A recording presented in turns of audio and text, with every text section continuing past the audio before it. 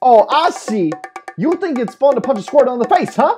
He's an endangered species, you derp. That's all you're doing, all you is, bro, a derp. You better pick a god and stop praying, because I'm about to take you to church. Take him to church, Ivy! Another one.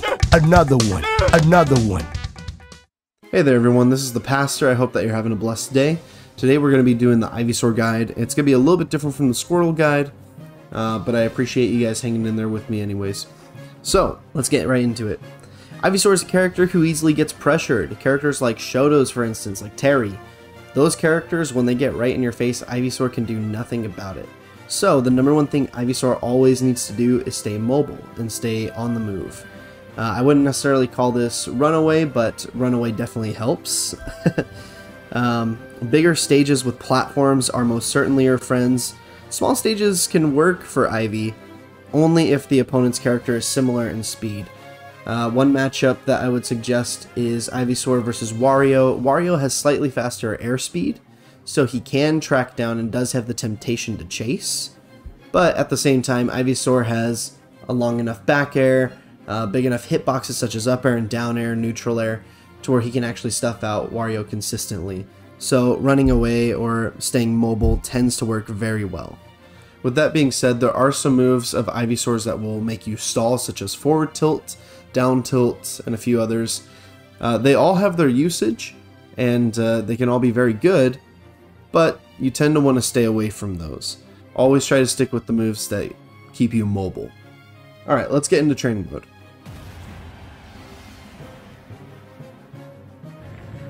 Okay, so we're going to start off by talking about the moves and what they kind of do.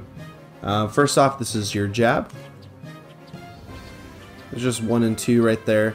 And then if you keep going, you can mash it like this. Jab is okay. Um, sometimes people get caught in it, sometimes people don't. I wouldn't really use it. Um, yeah, there's that move. It, it's really more of a mix-up in case you're trying to unstale moves, but ultimately you don't want to use that. Your down tilt is really good, and also Ivysaur can do a, a crawl.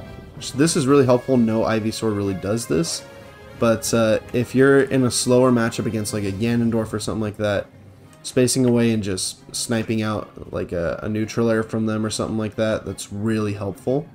Another move um, on the ground is forward tilts. This move is a multi-hitbox, it can be okay when you like run up like that. If you've been doing a lot of dash grab or whatever, you can use that instead as a mix-up. And uh, it's okay. You know, it's not safe on shield. Look at this end lag. Takes that long to get into shield. So it's pretty punishable overall. Um, not safe on shield. Once again, kind of like a, a hard, hard punish move. Down tilt as well has a lot of end lag your rapid jab has a lot of end lag. And lastly, you have up tilt. Up tilt has the lowest end lag out of everything. Plus, uh, I can't exactly show it because it's Lucina, but when Ivy is at the top of this, in fact, let me slow it down real quick. When Ivy's at the top of up tilt, um, the vines that are pushing him up, none of that can get hit. You won't get hit by doing that. So this isn't like Mewtwo's tail or anything. Anything, any projectile will pass through under, whereas Ivysaur himself is the hitbox and the hurtbox. So this is a good move to dodge. Um, it also makes it a good move on shield because if someone tries to do a tilt or something out of shield like that, and let's say you landed on them with back air, you can up tilt and whatever their out of shield option is, it'll miss simply because you're just dodging it with the up tilt. So that's a that's a good usage for up tilt. Other than that, up tilt doesn't have much. You could use it if you're trying to like juggle. You could just do up tilt It's a little bit lower than a full hop up air. So you could use it for spacing like that, but ultimately, I mean, I know, the animation to me takes quite some time. It's not safe on shield. Um, so if you did this on shield and someone does an aerial, you're probably going to get hit. So it's it's not like the best move, but it feels like it's one of the best tilts. I think down tilt is the best tilt, up tilt is the second best, forward tilt's the third best, and then your jab is absolutely last. Um, so now let's get into aerials. First off, you have neutral air. And neutral air is a fantastic move out of full hop. When you land with it on the ground, you have a lot of lag. In fact, let me slow it down one more time so you guys can see this. You see how he bounces? Kind of on his back first? That is the amount of lag that you have. So you have this weird little bounce to where neutral air won't be safe on shield unless you full hop it. And then, I don't know if you guys saw it from there, but you can actually air dodge right after. Um, so if you time it correctly, you should be able to just, uh, you should be able to always shield on command, just like that. So you always want to full hop these, you don't want to short hop. Um, there's a huge temptation with Ivy players to where when you're in shield and someone hits you, you want to neutral air out. That's fine, but ultimately, if someone hits your shield, you really don't want to do that. Um, this move, it's so laggy and it only goes so far. Plus, at the end of it, you're in lag. So if someone calls you out, and maybe they space move like Lucina spaces forward on shield, and you try to out shield it, and she dashed back, you're getting punished 100% of the time. So this short hop neutral air, not worth it. But ultimately, I would look for a dash into something, because his initial dash is actually really good. His run, slow, initial dash, very quick. Let's talk about back air. Back air is the move that, one of the moves I, I love to use. I think every Ivy does. It's honestly fantastic, covers a lot, makes you feel like a true genuine sword character. Uh, two hits, it's kind of weak, but that's really good because it allows for confirms. It can link into itself pretty easily, I would say. And at higher percents, it can set up kill combos, which we'll talk about that in a second. But basically, this is your best move to back air and then keep dashing. You can kind of space it like this if you want. But this is one of those moves that definitely helps you be mobile. Full hop nair helps you be mobile. So if you're gonna land, probably land with back air, not nair. Um, you know, you could be way up here then boom. This forward air has a good deal of lag. It's similar to neutral air, but it's less. And this forward air is actually basically the same as down throw. Your down throw animation starts from the top and comes down and sends at a very similar angle. Look at that. Look at those angles versus those angles. They're literally the same exact angles.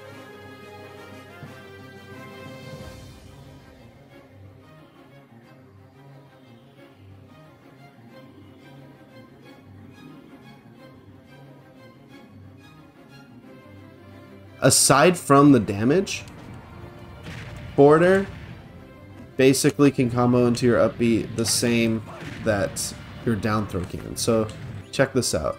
So forward air, up B, true combo. Whoops. Come on, Lucina. Down throw, up B. Basically a true combo. Everything you do from down throw, if you literally have no clue how to use forward air, now you do.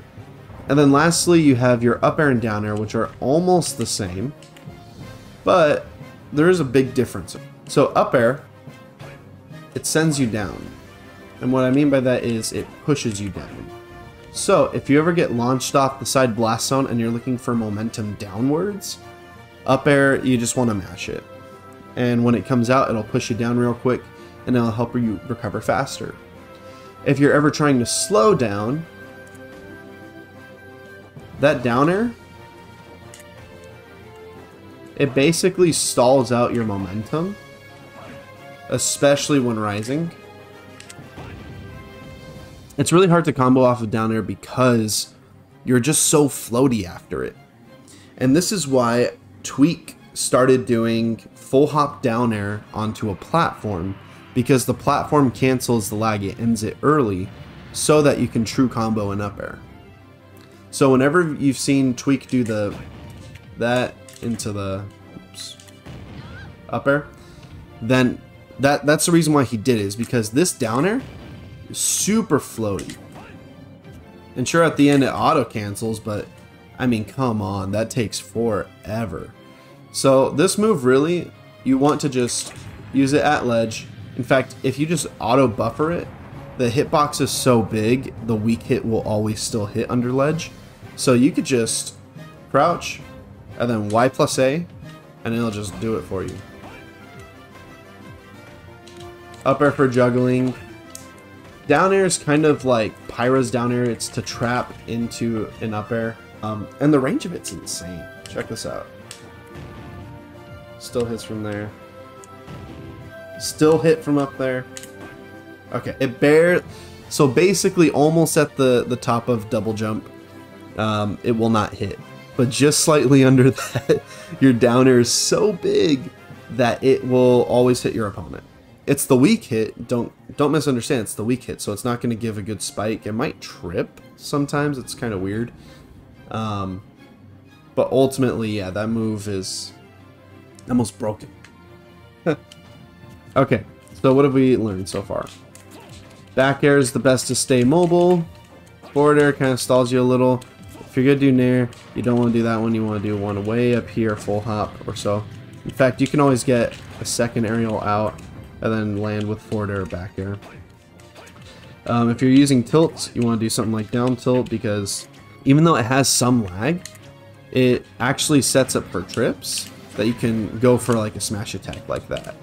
So when your forward air to up B stops working, you can start doing back air up B as well because back air once again low damage but also it sends it's it's more of a combo move anyways. Um, so forward air is for like hard punish combos, you know, because it's like down throw. But your back air is for on the move combos. So this this back air is so helpful. Oh, I never talked about dash attack. This move sucks and rocks at the same time. Um, lots of damage, good like get off you move, very quick in that sense. But um, you know, like it, it could be used to frame trap. You could probably do something dumb like a dash attack and then up B. you know, you could do something like that. People won't expect it at all. But ultimately, whoo, that lag. All right, let's talk about specials real quick. So you have neutral B, which is probably one of your best because it did 21 by itself. Did you see that? It drags in too. Um, and if you miss the first, Mm, I don't know if I can necessarily show it. Yeah, I don't think I can. Okay. Basically, if you miss the first ground hitbox to drag in, there is a second one, um, but there's only a second one throughout the entire duration. And it's kind of early, which makes this move pretty bad, but you can do things like back air into neutral. Let me see if I can get that cleaner. Yeah, you can do something like that. One way that you could also do it is you could land on somebody with Bullet Seed, and I found that's actually really effective. If you've been spacing on shield with a forward air, and let's say you get like one forward air, the second one you should go in with is Bullet Seed, because did you see that pickup? Even like if they try to shield grab this move, they're gonna get caught into it. And that's a lot of random damage to be hit by. If your opponent isn't playing mobile and they're not chasing you down, they're trying to play neutral too much, and they shield because they're looking for a shield grab. Bullet Seed is your best friend. Up B is primarily your finishing move. Um, there's a lot of tricks with this move, so when you're at ledge, you can cancel and swap out.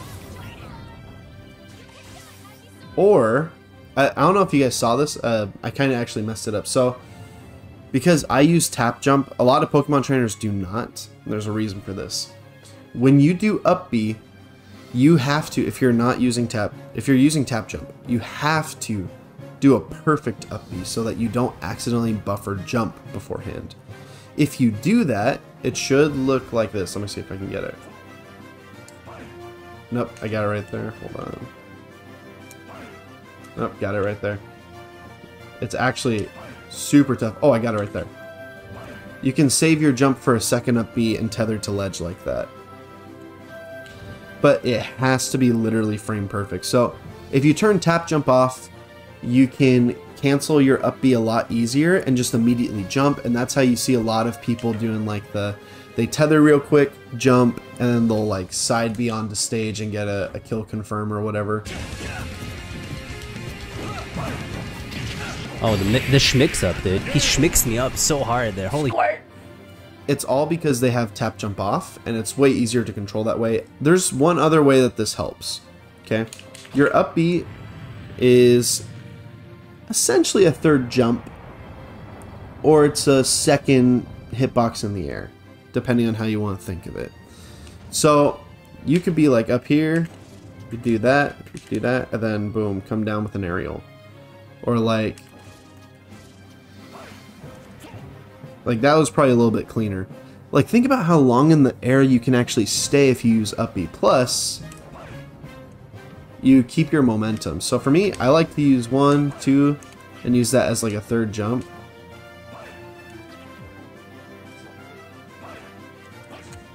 And you could even use it like if you're facing this way, you can up B that way so you can get your back air out. It's a good way to kind of like bait out and stuff. And I don't really see trainers do it a lot, but you know what? it helps. You know, it kind of gives you an extra jump like a DDD player will utilize. Uh, it's unexpected, and um, yeah, I mean, it's it's nice you don't go into free fall because you can do whatever you want after. You could even just like, I don't know, you could just throw out a projectile and then go in that way. Side special is, you know, it's it's pretty bad. um, some people think this move is absolutely absurd, it's amazing, whatever. Honestly, you can jump over this move and punish it. Lots of lag, especially if you want to do another, because look how much startup this is. That's a lot of startup. So even though the projectile seems like it's coming at a fast or okay like pace, it's really not. It's pretty slow. It's like Wolf Laser. You literally, if you're a character like Wario, character like Lucina, and you call it out, all you have to do is jump when I side B. You will cross over it and you will be able to hit me free, free of charge. You can start a combo, you can do whatever you want. This move is literally like saying, hey, have your way with me, do whatever the heck you want. Try to stay away from it. This range right here is like barely outside of the punish range. If I'm in here, it's punishable. That's a lot of distance. You're probably wondering why. It's literally because of the burst range. If Lucina full hops from here, I'm definitely getting hit. Maybe even a short hop if the Razor Leaf goes low, because I don't know if you guys have noticed, but you can actually, uh, you can kind of control if it goes down or not. So when you do side B, if you hold up, it goes up. If you do it and hold down, at the end of it, it goes down. And sometimes it's like, for the most part, it'll listen to your command. On occasion, it won't, but that's pretty rare.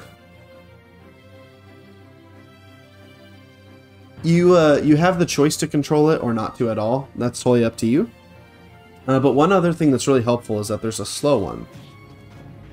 Right, so if you tap it, it's fast, it's long. If you tilt it, it's slow, it doesn't go too far. What is the purpose of this? Well, thank you for asking. um, forward air. This move, you can combo with it. Or you can use the slower one to actually frame trap an air dodge so that you can combo another forward air into it or an up B. So that's that's pretty bonkers.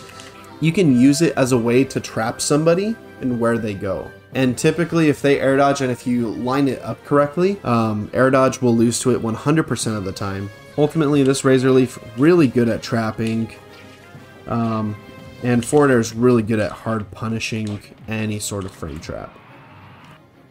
The last thing I'm going to talk about, and I'm not going to keep it too long, is about Ivysaur's throws. So first off, you obviously have your down throw, it's your main combo throw. You also have forward throw, which is a position throw. The forward throw here could set up for an edge guard, where you can chase your opponent like that. Then you also have your back throw. Should kill around like 115 or so. Get a little bit more damage. Okay, there we go. Yeah, it, it kills pretty early. Um, and then you have up throw. Up throw is also a combo throw. A lot of Ivysaur players do not use it. Um, if you buffer your up air, it's a true combo. But yeah, typically it's like at later percents. If you do a full hop nair, then you can do that combo. So up throw has some good opportunities, but ultimately it's just kind of a juggle throw. You know, it helps you kind of like stay under your opponent and move them and do stuff like that. Down throw is the one that you're pretty much always going with. Um, though I think at zero, up throw is honestly a great option. That's pretty much all there is to know about throws. There's a lot of moves with Ivy to where I, I personally think he's the worst Pokemon out of the trio because there's a lot of moves that you use them and you think, man, this move is so good because of what you get off of it, but it's so much risk. And so honestly, the only way to play like risk-free with Ivy is platforms because lower lag on down air, you have a good back air, and uh, if you have a big enough stage, you can utilize this dash. You can camp in the air. You know, stay away from people. Make them want to approach. And then play more runaway with your aerials. Honestly, that's kind of how you play Ivysaur. Being aggressive with him, you have to know what you're getting into. Uh, and if you don't, then sorry, you're probably going to lose. Anyways, that's it for the Ivysaur guide. I hope this was helpful to you guys. I hope that you learned a few things. And uh, I hope that you found this interesting. Uh, maybe it'll help you beat an Ivysaur player, or maybe it'll help you improve your Ivysaur. Pretty much that's that's how you play Ivy. There's nothing really crazy to it. Your ledge tricks and stuff like that, we can go over more in the full-on Pokemon Trainer Guide uh, when I talk about all three and how they work together. But until then, have a blessed day.